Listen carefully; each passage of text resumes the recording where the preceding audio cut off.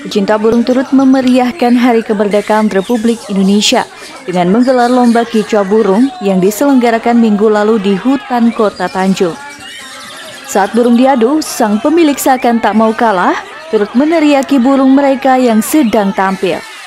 Ketua Panitia Lomba Burung Berkicau Ahmad mengatakan, selain untuk memperingati Hari Kemerdekaan, lomba ini sekaligus sebagai ajang silaturahmi antar pecinta burung. Sebagai panitia pelaksana lomba dalam rangka Hari Jadi Kemerdekaan Republik Indonesia yang ke-73, kami sebagai pelaksanaan lomba burung berkicau ini tujuannya untuk silaturahmi yang khususnya pada rekan-rekan kita Tabalong. Dan syukur Alhamdulillah ada juga yang datang dari kandangan, berabai, Paringin beserta dalam lomba hari ini. Lomba burung berkicau ini diikuti ratusan pecinta burung. Tidak hanya dari Tabalong, peserta bahkan ada yang berasal dari Provinsi Kalimantan Timur. Seperti Suyono yang rela datang dari jauh untuk menguji kesaktian burungnya di lomba. Ya udah biasa ke sini ini yang ketiga kalinya. Untuk ketiga kalinya. Tanggapannya dengan acara ini gimana? Om? Ya di sini pesertanya rame.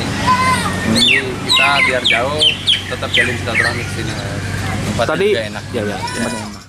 Selain piala, panitia juga menyediakan hadiah menarik lainnya bagi peserta lomba, seperti sangkar burung, kipas angin, televisi, dan kulkas. Ruliandi Rahman, TV Tabalong melaporkan.